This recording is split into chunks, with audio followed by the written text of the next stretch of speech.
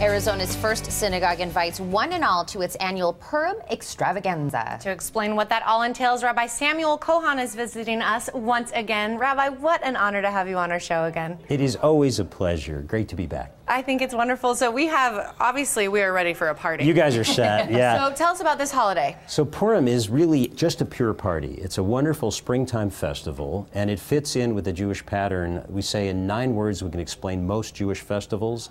They tried to kill us, we survived.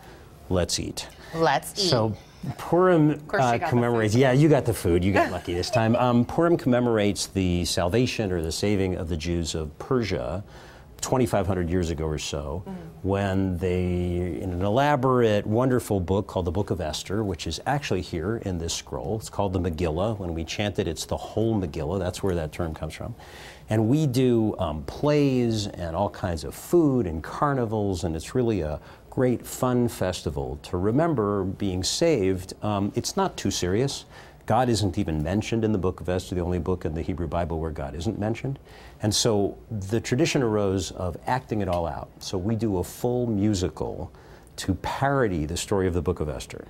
Oh, wow. And this year we did a parody of the Book of Mormon called The Book of Esther, but it's much cleaner than the original if you've ever yeah, seen it. you actually just saw it. I did. I'm glad to hear it's cleaner, Rabbi.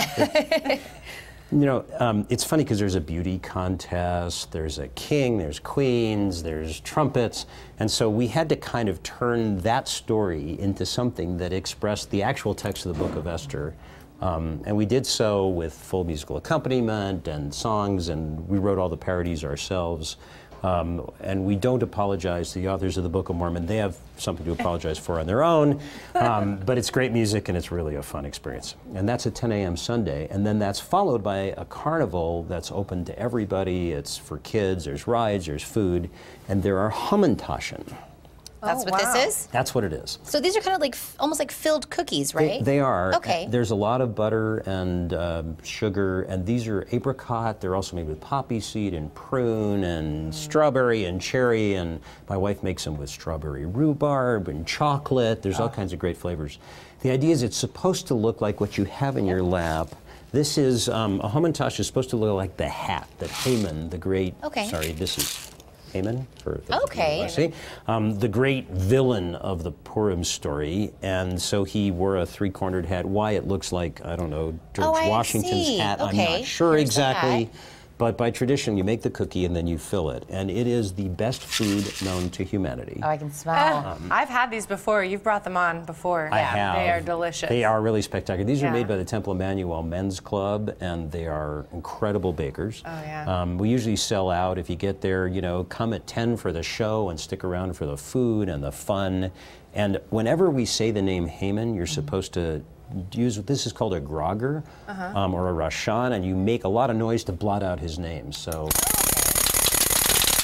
that's a real grogger. Hurt anybody?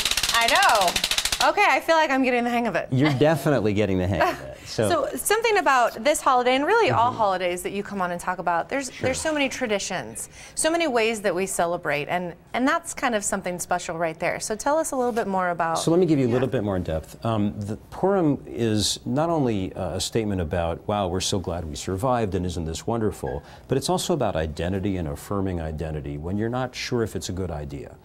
And Jews were always a minority. We understood what it meant to be a minority. And in a situation of persecution, it was really a challenge to say, I'm Jewish and I'm proud of it. And Purim kind of helps us reaffirm that. And we do that, we have here, this is actually the scroll of Esther as, uh, thank you. If you got Haman. yes. I'll, You got Haman, you got Hamantash. That's right, you got it, exactly. I'm on it. So this is an actual Megillah, a scroll of Esther, handwritten on parchment by a scribe.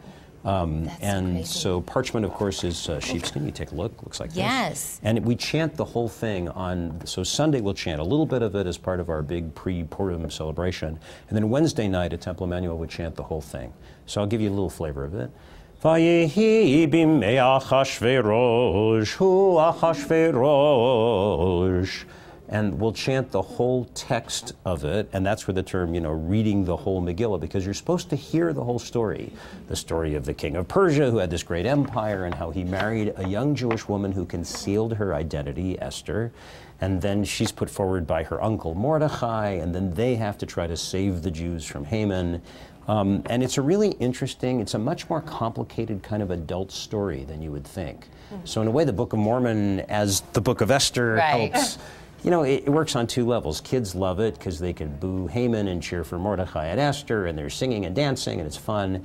And adults can understand that it really has to do with affirming that you're proud of your own identity. It's true for Jews, it should be true for everyone. And I know you guys are inviting everyone. I know it's free for all to It's come. free for everybody. And I'm going to remind everybody exactly the dates and times and of, of everything. But Rabbi, again, thank you so much for coming. Thank you for bringing me some cookies. It is my pleasure. Are you going to keep all those to yourself? Are you going to share them with Heather? She's gonna share.